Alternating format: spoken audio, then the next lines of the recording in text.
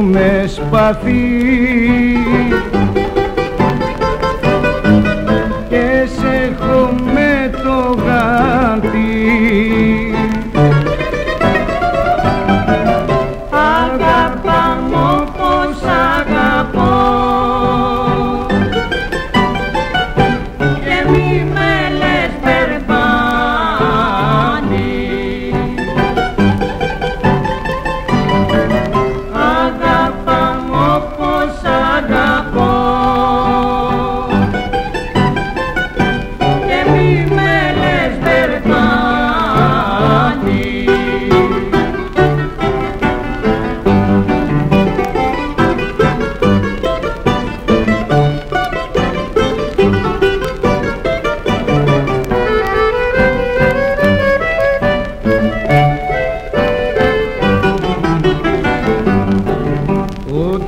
κι αν έχει στο μυαλό.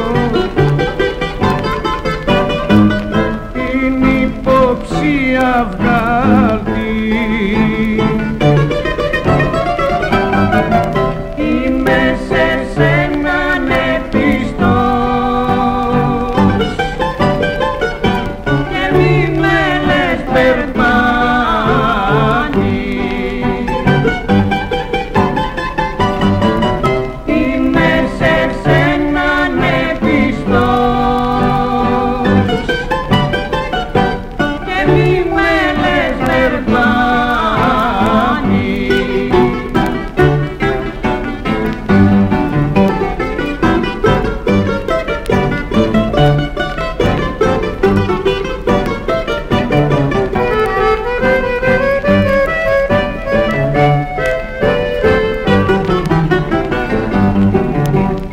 κοιτάμε όπως σε κοιτώ